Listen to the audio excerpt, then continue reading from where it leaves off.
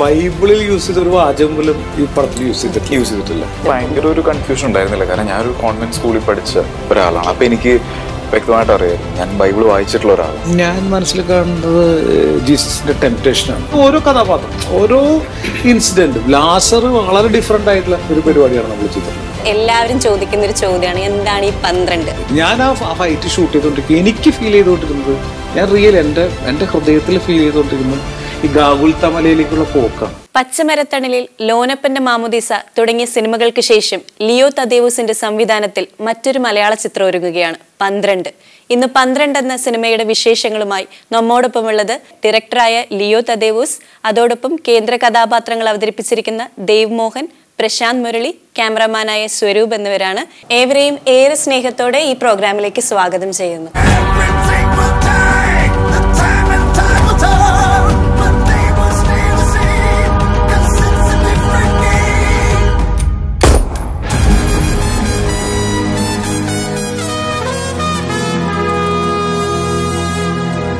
നമ്മുടെ ജൂൺ ഇരുപത്തിനാലാം തീയതി പന്ത്രണ്ട് എന്ന മൂവി റിലീസായിരിക്കുകയാണ് നമ്മുടെ ഈ സിനിമയുടെ ഫസ്റ്റ് ലുക്ക് പോസ്റ്റർ ഇറങ്ങിയപ്പോൾ തൊട്ട് എല്ലാവരും ചോദിക്കുന്ന ഒരു ചോദ്യമാണ് എന്താണ് ഈ പന്ത്രണ്ട്? അപ്പം നമ്മുടെ ഇനിയും ഈ സിനിമ കാണാത്ത പ്രേക്ഷകർക്ക് വേണ്ടിയിട്ട് എന്താണ് പന്ത്രണ്ട് എന്ന് ഒന്ന് ചുരുക്കി പറയാൻ പറ്റുമോ? പന്ത്രണ്ട് ഇപ്പോൾ ഓൾറെഡി എന്താ പറയുക എനിക്കാണ് ആൾക്കാരിങ്ങനെ ജനങ്ങൾ മനസ്സിലാക്കി തുടങ്ങിയിട്ടുണ്ട്. പന്ത്രണ്ട് എന്ന് പറയുന്നത് ഒരു ഒരു വളരെ പ്രസിദ്ധമായിട്ടുള്ള ഒരു എപ്പിക് സ്റ്റോറിയിൽ നിന്ന് എടുത്തിട്ടുള്ള ഒരു സംഭവമാണല്ലോ. ഇതൊരു ഒരു വലിയൊരു സമൂഹത്തിന്റെ അല്ലെങ്കിൽ പരിച്ഛേദമുള്ളല്ലോ ഒരു ഹ്യൂമൻ റേസിന്റെ തന്നെ ഒരു കഥയാണ്. അതിനെ നമ്മൾ വളരെ ചുരുക്കി ഒരു പന്ത്രണ്ട് പേരിലേക്ക് ഒതുക്കി ഈ കഥ പറയുന്നു എന്നുള്ളതാണ് ഇതിന്റെ ഏറ്റവും വലിയ പ്രത്യേകത. എപ്പിക് സ്റ്റോറി എന്ന് പറഞ്ഞു. പിന്നെ പന്ത്രണ്ടിന് റെഫറൻസ് വന്നു. ശരിക്കും ഒരു യഥാർത്ഥത്തിൽ ഒരു ബൈബിൾ എന്ന് തന്നെ റെഫർ ചെയ്ത് പറയാൻ പറ്റുമോ? തീർച്ചയായിട്ടും. കാരണം നിങ്ങളിപ്പോൾ അത് ഇങ്ങനെ സംസാരങ്ങൾ തുടങ്ങിയ സ്ഥിതിക്ക് നമുക്ക് കാരണം നമ്മൾ അതിന്റെ ഡി നമ്മൾ ഇത്രയും കാലം അതിങ്ങനെ അതിങ്ങനെ മറച്ചു വെക്കല്ലേ ഇത്? അങ്ങനെ അതങ്ങനെ പറയാതിരുന്ന ജനങ്ങൾ തിയേറ്ററിൽ വന്നിട്ട് ആ ഒരു കാര്യം എക്സ്പീരിയൻസ് ചെയ്യുക എന്നുള്ളതാണ്. ബൈബിളിൽ തന്നെ വളരെ സ്പെസിഫിക്കലി ന്യൂ ടെസ്റ്റ്മെന്റ് ആണ് ഇതിന്റെ ഒരു ബേസ് പോയിന്റ്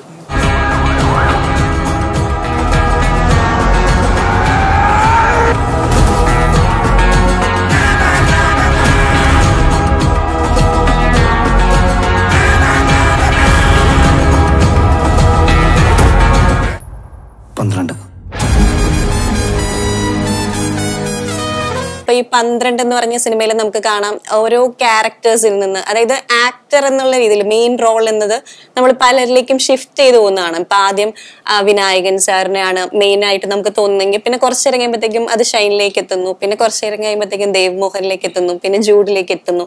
അങ്ങനെ ഒരു ഷിഫ്റ്റ് ഉണ്ട്. അപ്പൊ എന്തുകൊണ്ടാണ് ഇങ്ങനെ ഒരു എക്സ്പെരിമെന്റൽ ആയിട്ടുള്ളൊരു ഇത് ചെയ്യാം എന്ന് പ്രധാനപ്പെട്ട നല്ലൊരു ചോദ്യമുണ്ട്. അതിന്റെ പ്രധാനപ്പെട്ട കാരണം ഈ കഥ ഞാൻ നേരത്തെ പറഞ്ഞാണ് അതിന്റെ പ്രധാന കഥ ഇങ്ങനെ ഡ്രിഫ്റ്റ് ചെയ്ത് പോയിക്കൊണ്ടിരിക്കുകയാണ്. ഒരാളെ കുറിച്ചിട്ടുള്ള ഒരു കഥയല്ല.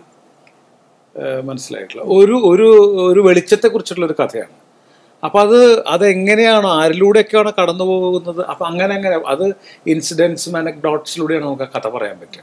അപ്പം മെയിൻലി നമ്മൾ എത്തിച്ചേരേണ്ട ഒരു ഇടത്തെ കുറിച്ചിട്ട് നമുക്ക് ധാരണയുണ്ട്. അപ്പൊ അത് പല വ്യക്തികളിലൂടെ ഇങ്ങനെ റോൾ ചെയ്ത് റോൾ ചെയ്ത് വരും. അങ്ങനെയാണ് കഥ ശരിക്ക് പോകുന്നത്.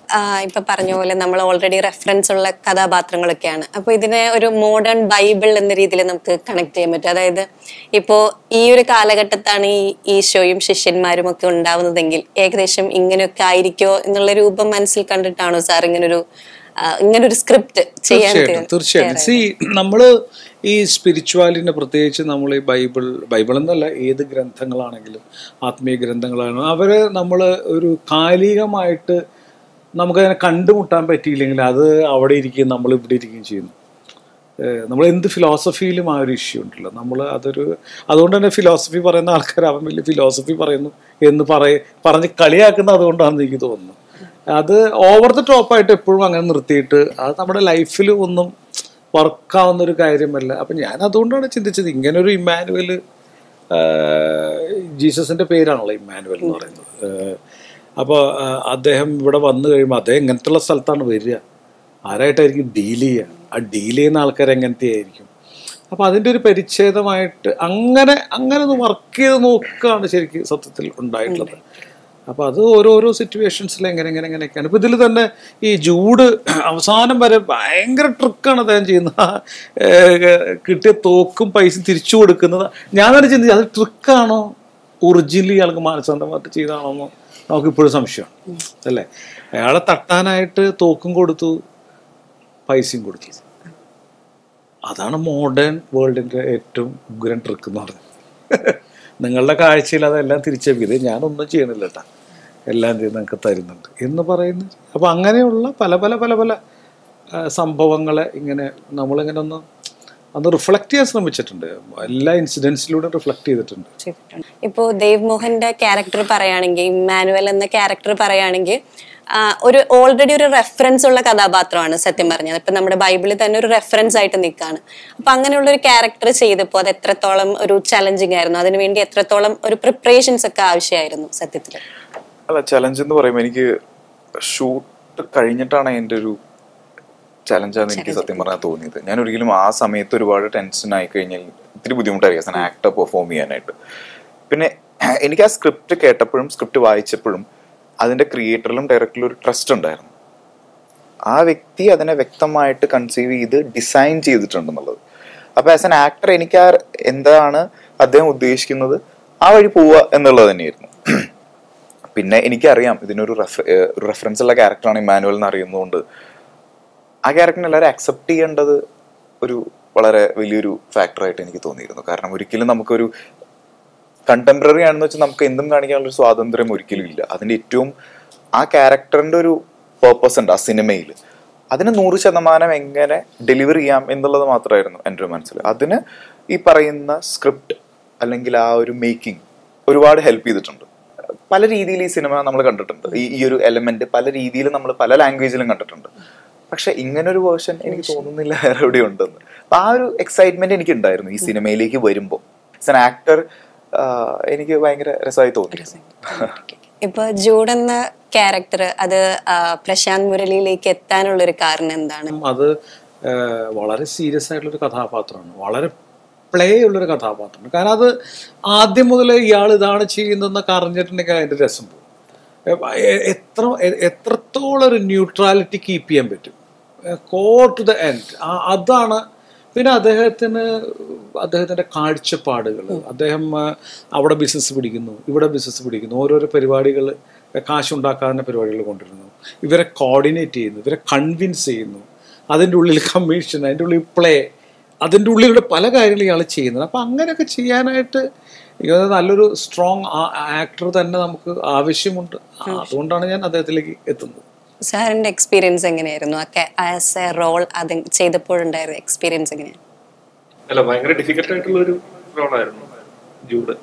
അപ്പൊ എന്നെ കാസ്റ്റ് ചെയ്തിട്ട് ഞാൻ ചോദിച്ചാണ്. ഞാനെടുത്താ പൊങ്ങു. പുള്ളി പറഞ്ഞ കുഴപ്പമില്ല. നിനക്ക് ചെയ്യാൻ പറ്റുമോ? പിന്നെ അതിന് മുമ്പുള്ള പ്രിപ്പറേഷൻ എന്റെ ഒരു മാനസിക നിലയുടെ വളർച്ച ഏകദേശം ഒന്ന് പ്ലാൻ ചെയ്ത് വെച്ചിരുന്നു. അതായിരുന്നു ഏറ്റവും ഡിഫിക്കൽട്ട് ആയിട്ടുള്ള കാര്യം. ഈ ബിഗിനിങ്ങിൽ നിന്ന് എൻഡിലേക്ക് കൊണ്ടുവരിക എന്നുള്ളത്. അത് പറഞ്ഞാലും സാറ് കൃത്യമായിട്ട് പറഞ്ഞു പറഞ്ഞു പറഞ്ഞു. കാരണം ഓൾറെഡി ഉള്ള ഒരു ക്യാരക്ടർ ഓൾറെഡി ആളുകളുടെ മൈൻഡിൽ റെഫറൻസ് ഉള്ള ഒരു ക്യാരക്ടർ എങ്ങനെ അത് എൻഡ് വരെ അങ്ങനെ അത് കണക്ട് ആവാതെ കൊണ്ടുവന്നിട്ട് ലാസ്റ്റ് ആവുമ്പോൾ ഈ വെളിച്ചം എങ്ങനെ എത്തിക്കാം എന്നുള്ളത്. സാറിന്റെ ഡിസൈൻ ആയിരുന്നു. ഇപ്പൊ ആ സിനിമയെ സംബന്ധിച്ചോളം ഏറ്റവും ഇമ്പോർട്ടന്റ് ആയിട്ടുള്ള കാര്യമാണ് അതിന്റെ ഒരു ലൊക്കേഷൻ എന്ന്. നമ്മൾ പല പല സ്ഥലത്തായിട്ട് ഷൂട്ട് ചെയ്താണ്. അപ്പോൾ പല പല സ്ഥലത്തെ കടലുകൾ കാണിക്കുന്നുണ്ട്. അപ്പോൾ അതിന്റെ ആ, എന്താ പറയാ നമ്മൾ സിനിമയിലേക്ക് വരുമ്പോൾ അതിനൊരു കണക്ടിവിറ്റി വേണം ആ കടലുകൾ പല സ്ഥലത്തായോണ്ട്. അപ്പൊ അതിന്റെ ക്യാമറയ്ക്ക് പിന്നിലുള്ള ടെക്നിക്കൽ ഡിഫിക്കൽട്ടീസ് എന്തൊക്കെയായിരുന്നു? പല പല സ്ഥലത്തായിട്ട് അത് കണക്ട് ചെയ്തുകൊണ്ട് വരുമ്പോൾ അത് അതെങ്ങനെയായിരുന്നു? അതിനെ കുറിച്ചുള്ള ഒരു എക്സ്പീരിയൻസ് പറയൂ സാർ. സോ അതിന്റെ കളേഴ്സിൽ വർക്ക് ചെയ്തിട്ടുണ്ടായിരുന്നു. മൂന്നാൽ കടലുകളിൽ നമ്മൾ സെപ്പറേറ്റ് ആയിട്ട് ഷൂട്ട് ചെയ്തിട്ടുണ്ടായിരുന്നു. അപ്പോൾ ഓരോ സമയത്തും അതിന്റെ ആ, നീല കളർ ചില ഓരോ കടലും വന്നിട്ട് വ്യത്യാസമായിരുന്നു. സോ അതിന്റെ ഒരു കോൺട്രാസ്റ്റ് ലെവലൊക്കെ നമ്മൾ മാക്സിമം സിമിലർ ആക്കി. എന്നിട്ട് അതിന്റെ കളേഴ്സിലായിരുന്നു നമ്മൾ സിമിലാരിറ്റി പിടിച്ചത്. അങ്ങനെയായിരുന്നു മേ ബി അതൊരു ഈവൻ ഒരൊറ്റ കടലിൽ നടക്കുന്ന മാതിരിയുള്ളൊരു സംഭവമായിട്ട്. പിന്നെ നമ്മൾ ഇതിന് ഒരുപാട് പ്രീ പ്രൊഡക്ഷനിൽ ഒരുപാട് വർക്ക് ചെയ്തിട്ടുണ്ടായിരുന്നു. പിന്നെ സാറ് ഡിസൈൻ ചെയ്തു പിന്നെ പിന്നെ ഒരു ഓട്ടോ പാച്ചിലിന്റെ ഒക്കെ ശരിയായി.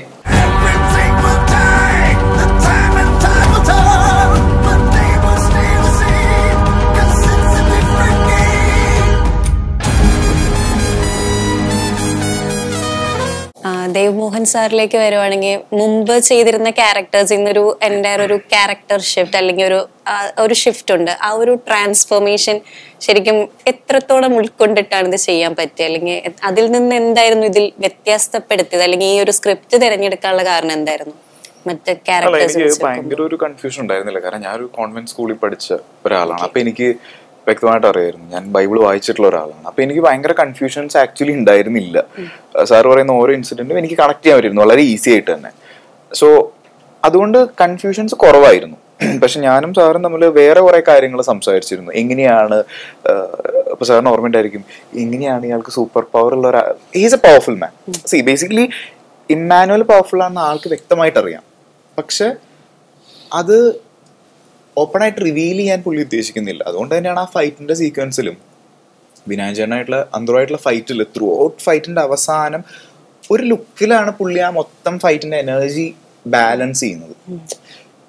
എനിക്ക് തോന്നുന്നു ഇമ്മാനുവലിന് maybe he's physically everything stronger than അന്ത്രോ. പക്ഷെ അത് തിരിച്ചടിക്കാനുള്ള ഒരു സ്പേസ് അല്ലല്ലോ അവിടെ നിൽക്കുന്നത്. അപ്പൊ അവിടെ ആ ക്യാരക്ടറിന്റെ ഒരു ലുക്കിലോ അല്ലെങ്കിൽ ഒരു ഒരു മൊമെന്റിലാണ് ഈ എനർജി ബാലൻസ് ചെയ്യുന്നത് അല്ലെങ്കിൽ ആ ഒരു പവർ ക്രിയേഷൻ സംഭവിക്കുന്നത്. സോ എന്നെ സംബന്ധിച്ചിടത്തോളം ഈ ക്യാരക്ടറിനെ എനിക്കറിയാം. അറിയാം ഇൻ ദ സെൻസ് ഞാൻ ഈ പറയുന്ന എന്റെ പഠിച്ചു വളർന്ന ബാക്ക്ഗ്രൗണ്ട് ആണെങ്കിലും ഞാൻ ഈ ബൈബിൾ വായിച്ചിട്ടുള്ളതുകൊണ്ട് വ്യക്തമായിട്ട് എനിക്ക് അറിയാം എന്താ സംഭവം. പിന്നെ എനിക്ക് എങ്ങനെയാണ് സാറ് ഈ ഒരു ഇമ്മാനുവലിനെ നമ്മുടെ സമകാലികമായി കാണിക്കുന്നത് എന്നുള്ളൊരു ഒരു ക്യൂരിയോസിറ്റിയും അല്ലെങ്കിൽ അത് ആളുകൾക്ക് അത് എങ്ങനെയായിരിക്കും എടുക്കുക? എത്രത്തോളം നമുക്ക് നമ്മളിൽ ഒരാളായിട്ട് കാണുമ്പോഴേ ആൾക്ക് റിലേറ്റ് ചെയ്യാൻ പറ്റുള്ളൂ അല്ലെങ്കിൽ ഈ കഥയിലേക്ക് വരാൻ പറ്റുള്ളൂ. ഒബ്വിയസ്ലി മിസ്റ്റിക് ആയിട്ടുള്ള കുറേ അല്ലെങ്കിൽ മിസ്റ്ററിയുള്ള കുറേ ഏരിയ ഉണ്ടെങ്കിൽ തന്നെ എൻഡ് ഓഫ് ദി ഡേ അത് കാണുന്ന വ്യക്തികൾക്ക് കണക്ട് ആവണം. അപ്പോൾ അതെങ്ങനെയാണെന്നുള്ള ഒരു ഒരു കൺഫ്യൂഷൻ ഇരിക്കുന്നത് അപ്പോൾ ഞാൻ സാറിനോട് സ്ഥിരമായിട്ട് ചോദിക്കും സാർ അത് നമ്മൾ എങ്ങനെ ചെയ്യുന്നു? സാർ ഇങ്ങനെയാണ്? നമ്മൾ മാക്സിമം ഡയലോഗ്സ് ആണെങ്കിലും. ഞാൻ പറഞ്ഞു ഡയലോഗ് നമുക്ക് ഭയങ്കര സാധാരണ നമ്മളിപ്പോൾ സംസാരിക്കുന്ന പോലെ തന്നെയല്ലേ ഈ ക്യാരക്ടർ സംസാരിക്കുക? അതെ ഇങ്ങനെ തന്നെയാണ് സംസാരിക്കേണ്ടത്. അല്ലാണ്ട് എനിക്ക് ഒരിക്കലും ആ ക്യാരക്ടർ വേറെ രീതിയിലോ അല്ലെങ്കിൽ ഒരുപാട് ഫിലോസഫിക്കലായിട്ടോ സംസാരിക്കാൻ ഞാൻ ഉദ്ദേശിക്കുന്നില്ല. സാധാരണ നമ്മൾ എങ്ങനെയാണ് സംസാരിക്കുക. അതുപോലെ തന്നെയാണ് എനിക്ക് വേണ്ടത്. സോ നമ്മൾ അതുകൊണ്ട് തന്നെ ബൈബിളിൽ യൂസ് ചെയ്ത ഒരു വാചകം പോലും ഈ പടത്തിൽ യൂസ് ചെയ്തിട്ടില്ല. യൂസ് ചെയ്തിട്ടില്ല. അപ്പൊ അതിന്റെ എസെൻസ് എടുത്തിട്ടുണ്ട്. ഓരോ ഭാഗത്തിന്റെ ആ ആ ഡയലോഗിന്റെ എസെൻസ് എടുത്തിട്ടാണ് ഇതിലേക്ക് നാച്ചുറൽ ഫോമിലേക്ക് മാറ്റിയിട്ടാണ് ചെയ്തിരിക്കുന്നത് അപ്പൊ അതുപോലെ ഇപ്പൊ കപ്പൽ കടലിൽ പോകുന്ന സീനിലാണെങ്കിലും ഇങ്ങനെ നോക്കിയിട്ട് ഇങ്ങനെ പറയുന്നുണ്ട്. നല്ല കാറ്റിന് സാധ്യതയുണ്ടല്ലേ? എന്ന് പറയുന്നത് സാധാരണ എല്ലാവരും കടലിൽ പോകുമ്പോൾ പുറത്തേക്ക് പോകുമ്പോൾ നല്ല കാറ്റുണ്ടാവുമല്ലേ എന്ന് പറയുന്ന പോലെ തന്നെയാണ് ഇദ്ദേഹം പറയുന്നത്. അപ്പൊ സ്രാങ്ക് ചോദിക്കുന്നുണ്ട്. അത്ര ഞാൻ മുപ്പത് വർഷമായി ഇങ്ങേർക്ക് ഈ ക്യാരക്ടറിന് അറിയാം. ഇത് സംഭവിക്കാൻ പോകുന്നുണ്ടെന്ന്. പക്ഷെ എന്നാലും അത് കാണിക്കാൻ പറ്റില്ല. ഓക്കെ ശരി. ആയിക്കോട്ടെ. എന്ന് പറയുന്ന സാധാരണ നമ്മൾ എങ്ങനെ ഓരോ കാര്യങ്ങൾക്കും റിയാക്ട് ചെയ്യും. അത് രണ്ട് അറിയാം ഈ ക്യാരക്ടറിന് അറിയാലോ ഈ ക്യാരക്ടർ ആരാണെന്നും സ്ട്രെങ്ത്തും എല്ലാം അറിയാം. പക്ഷെ പ്രേക്ഷകരെ കാണുമ്പോൾ ഇയാൾ ഇങ്ങനെ പറയുന്നത് എന്ന് പറയുന്ന ആ ഒരു പ്ലേ ഉണ്ടല്ലോ ബേസിക്കലി അതാണ് എനിക്ക് ഏറ്റവും കൂടുതൽ ഈ സിനിമയിൽ എക്സൈറ്റ്മെന്റ് ആയിട്ടുള്ള ഒരു ബാക്കി ക്യാരക്ടറുകളിൽ നിന്ന് ഒരു ഒരു ഒരു കാര്യം ഡിഫറെന്റ് എന്ന് വെച്ചാൽ ഈ പുള്ളിക്ക് വ്യക്തമായിട്ട് അറിയാം അദ്ദേഹം ആരാണെന്ന്. എല്ലാം സംഭവിക്കും. ഈവൻ ജൂഡ് കാശ് കൊണ്ട് കൊടുക്കുമ്പോഴും ഗൺ പോയിന്റിൽ നിർത്തുമ്പോഴും ഒന്ന് ചിരിക്കുന്നുണ്ട്. ചെറു ചെറുതായിട്ടൊന്ന് ചിരിക്കുന്നുണ്ട്. കാരണം അറിയാം ഇതാണ് സംഭവിക്കാൻ പോകുന്നതെന്ന് അറിയാലോ. പക്ഷെ അതിനെങ്ങനെ ആളുകൾക്ക് അവിടെ ഒരു കൺഫ്യൂഷൻ കൊടുക്കണം? ഇനി എന്താവും? എന്നുള്ളത് ഭയങ്കര ഒബ്വിയസ് ആയിട്ട് നിൽക്കാനും പറ്റില്ല. സോ എനിക്ക് തോന്നുന്നു അതാണ് ആ സിനിമയിലെ ബ്യൂട്ടി അല്ലെങ്കിൽ ഈ ക്യാരക്ടറിന്റെ ബ്യൂട്ടി അല്ലെങ്കിൽ സാർ അതിനെ റീക്രിയേറ്റ് ചെയ്തതിന്റെ ബ്യൂട്ടി എന്ന് ഞാൻ വിശ്വസിക്കുന്നത്.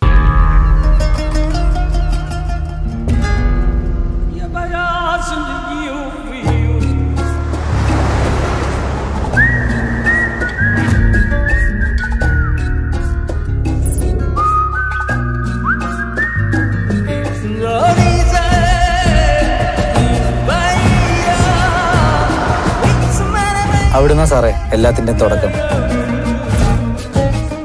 നിങ്ങളെ പോലെ ചെറുപ്പക്കാരെ നമുക്ക് വേണ്ടത്. പക്ഷേ നമ്മുടെ പിള്ളേരുടെ ഇടയിൽ നിന്നൊന്ന് ഒഴിവാകണം. ആ അന്ത്രോയും പത്രയും ഒക്കെ. എന്റെ അതിനകത്താ സാർ വേലി കെട്ടിക്കണേ. ആ സാർ തന്നെ പറഞ്ഞു ഈ മൂവിയിൽ നമ്മൾ എന്താ ബൈബിളിൽ നിന്നുള്ള എക്സാക്റ്റ് ആ വേർഡ്സ് ഒന്നും തന്നെ കോട്ട് ചെയ്ത് പറയുന്നില്ല. അതുപോലെ തന്നെ ഈ മൂവി കണ്ടാൽ തന്നെ അറിയാം എക്സാക്ട് നമുക്ക് ഓരോ ഈവന്റും ബൈബിളായിട്ട് കണക്ട് ചെയ്യാൻ പറ്റും. പക്ഷെ ഈവന്റെ ഒരു പള്ളിയുടെയോ പോലും സിമ്പിൾ ഒന്നും നമ്മൾ കാണിക്കുന്നില്ല. അപ്പൊ ആക്ച്വലി അങ്ങനെ ഒരു സിമ്പിൾ കാണിച്ചു കഴിഞ്ഞാൽ ആൾക്കാർ അതിനെ മാർജിനലൈസ് ചെയ്യും എന്നുള്ള ഒരു ഭയം കൊണ്ടാണോ അതൊക്കെ ഒഴിവാക്കി ഇങ്ങനെ ഒരു അതെ അതെ ഇത്രയും ഞാൻ എനിക്ക് ചെയ്യാമെങ്കിൽ അത് ആവശ്യമുണ്ടെങ്കിൽ ഞാൻ ചെയ്യും. അത് ആവശ്യമില്ല ഇതിൽ. അതെന്താ കാര്യം എന്ന് വെച്ചിട്ടുണ്ടെങ്കിൽ നമ്മൾ സി ഞാൻ ടു ബി ഫ്രാങ്ക് ഇതിൽ ഭീകരമായിട്ടുള്ള റിഫ്ലക്ഷൻ വേണ്ട ഒരു കാര്യമാണ്. ഒരു ബൈബിളിന്റെ ഓരോ സീനും ഇപ്പം ഞാൻ ഉദാഹരണം പറയാം ദേവും ലാലേട്ടനും തമ്മിൽ കണ്ടുമുട്ടുന്നൊരു ഇത് ഇവർ തമ്മിലുള്ള സീൻ ആ വലിയ ഹോട്ടലിന്റെ മേലെ. അത് ശരിക്കും ഞാൻ മനസ്സിൽ കാണുന്നത് ജീസസിന്റെ ടെംപ്റ്റേഷനാണ് നാൽപ്പത് ദിവസത്തെ ഉപവാസത്തിന് ശേഷം ഈശോനെ സാത്താൻ മലയിലേക്ക് കൊണ്ടുപോയിട്ട് അവിടെ നിന്നിട്ടുള്ള ടെംപ്റ്റേഷൻ ടോക്കാണ് അപ്പോൾ പുള്ളി വരുമ്പോൾ തന്നെ ചോദിക്കുന്നുണ്ട് "ഏ, ഭക്ഷണം നീ വിശപ്പുണ്ടല്ലോ കഴിക്കി എന്ന് പറഞ്ഞിട്ടാണ് പുള്ളി തുടങ്ങുന്നത്. നിനക്കുള്ള എന്നിട്ട് കാണിച്ചത് ഇതൊക്കെ നമ്മുടെ സ്ഥലങ്ങളാണ് നിനക്ക് എന്താ ആവശ്യമുള്ള വെച്ചാൽ നമ്മൾ തമ്മിൽ ഡീൽ ഉണ്ടാക്കാം. ഏഹ് എന്റെ പേരും കൂടി ഉണ്ടെങ്കിൽ നീ ഓക്കെ അല്ലേ നീ എല്ലാം? എന്ന് പറഞ്ഞ അത് ശരിക്ക് ടെംപ്റ്റേഷൻ മൂന്ന് ടെംപ്റ്റേഷൻ അവിടെ പറയാണ് പുള്ളി. ടെംപ്റ്റേഷൻ ഇങ്ങനെ വരിക അല്ലാതെ മറ്റേ ഡ്രസ്സ് ഇട്ടിട്ടല്ലോ വരിക അത് പീലാത്തോസ് എന്ന് പറഞ്ഞ പീലു എന്ന് പറഞ്ഞ ക്യാരക്ടർ അവിടെ ടെംപ്ടേഷൻ വരുന്നത്. അതേപോലെ തന്നെ ഇമ്മാനുവലിനെ ആദ്യമായിട്ട് സ്വീകരിക്കുന്ന സ്നാപക യോഹനന്റെ ക്യാരക്ടർ വെള്ളത്തിന്റെ ഇതിൽ വെച്ചിട്ട് അയാൾ വന്ന് അവിടുത്തെ ഒരു വിപ്ലവകാരിയാണ്. അയാൾ വന്നിട്ട് അയാൾ സ്വീകരിച്ചിട്ട് ആ വെള്ളത്തിന്റെ വഞ്ചിയിൽ നിന്ന് വെള്ളത്തിൽ ഇറങ്ങിയിട്ട് അവർ കെട്ടിപ്പിടിക്കുന്നത്. അത് കഴിഞ്ഞിട്ട് അയാളെ വീട്ടിലേക്ക് അപ്പോൾ ആ ബൈബിളിൽ പറയുന്നുണ്ട് നിനക്ക് മുൻപേ വഴിയൊരുക്കാനായിട്ട് ഒരുത്തൻ പോയിട്ടുണ്ട്. ആ വഴി ആ വഴിയിലേക്ക് ആ- സ്നാപയോഹനന്റെ വീടാണ് പുള്ളിക്ക് കൈമാറി കൊടുക്കുന്നത്. ജോണിന്റെ വീടാണ്. അദ്ദേഹം പിന്നീട് മരിക്കുമ്പോൾ അയാളുടെ തല റെയിൽവേ ട്രാക്കിൽ പെട്ട് വെട്ടിക്കിടക്കുന്നത് സ്നാപയോഹനന്റെ തല ഛേദിക്കുന്നത് നമ്മൾ ബൈബിളിൽ കണ്ടിട്ടുണ്ട്. അതാണ് പിന്നീട് റെയിൽവേ ട്രാക്കിലായിട്ട് പുള്ളി അത് കണ്ടിട്ട് കരയുന്നത്. ഇങ്ങനെ ഓരോ കഥാപാത്രം ഓരോ ഇൻസിഡന്റും. ലാസർ വളരെ ഡിഫറെന്റ് ആയിട്ടുള്ള ഒരു പരിപാടിയാണ് നമ്മൾ ചെയ്തിട്ടുള്ളത്. ഏഹ് ലാസറിന്റെ ഉയർത്തെഴുന്നേൽപ്പ് ലാസർ ചോദിക്കുന്ന ചോദ്യം ഉണ്ടല്ലോ വിനായകൻ വന്ന് ചോദിക്കുന്നുണ്ട്. ലാസർ ലാസർ ഉയർത്തെഴുന്നേറ്റ് എന്ന് പറയുമ്പോൾ ഭയങ്കര പ്രശ്നം ഉണ്ടാവും ഇയാൾ ചോദിക്കുന്നുണ്ട്. നീ നീ ഞാൻ കടലിൽ നിന്ന് കോരിത്തുനിന്ന് ജീവിക്കുന്ന ജീവിക്കുന്നതന്നെ. നീ എന്റെ അടുത്ത് കളിക്കരുത് എന്ന് പറയുമ്പോൾ അയാളുടെ ചോ അയാളുടെ ഉത്തരം എന്താ വെച്ചിട്ടുണ്ടെങ്കിൽ ഭയങ്കര ഇതാണ്. ചത്തുകർത്തവൻ കണ്ടേ കൂടുതലൊന്നും നീ കണ്ടിട്ടില്ല എന്ന് തോന്നുന്നു. ഏഹ് ഇങ്ങനെ ഓരോ കഥാപാത്രങ്ങളും നമ്മളിങ്ങനെ ഇങ്ങനെ പ്ലേസ്ഡ് ആവാണ് വിനായകൻ ഇവരും തമ്മിലുള്ള ഫൈറ്റ് കടൽ തീരത്തെ ഒരു ഗംഭീര ആ ഫൈറ്റ് ഷൂട്ട് ചെയ്യുമ്പോൾ ഞങ്ങളുടെ പ്രധാന ഞങ്ങൾ കുറെ തർക്കിക്ക് വലിയ കമ്മ്യൂണിക്കേഷൻ നടത്തിയ ഒരു ഫൈറ്റാണ് കാരണം വിനായകൻ ചില പോയിന്റിൽ ഇത് പറഞ്ഞു ഇദ്ദേഹം എന്നോട് ദൈവം ചോദിച്ചു ഞാൻ തിരിച്ചടിക്കേണ്ടി വരില്ലേ? എന്ന് ചോദിക്കുന്നു. വിനായകൻ പറയുന്നത് ഞാൻ തോളി കിടക്കണോ എന്ന് ഇങ്ങനെ പല പല പല ചർച്ചകൾ ഉണ്ടായി വളരെ കൺസ്ട്രക്റ്റീവ് ആയിട്ടുള്ള ചർച്ചകൾ ഉണ്ടായിട്ടുള്ളതാണ്.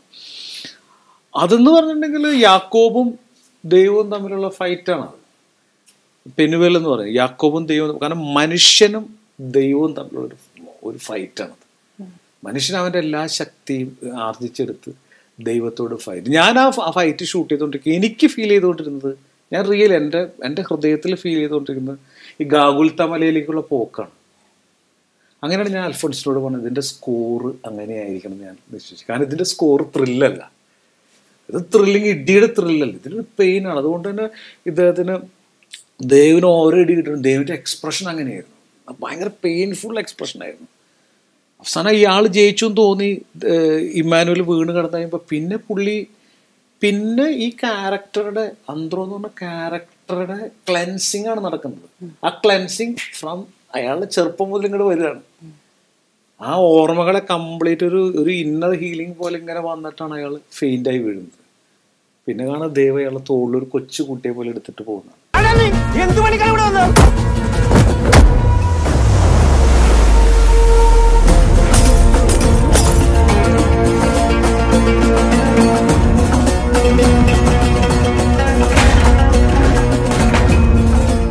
എനിക്ക് കാര്യങ്ങളൊക്കെ മനസ്സിലായി മോനെ. ഇവിടെ മോശം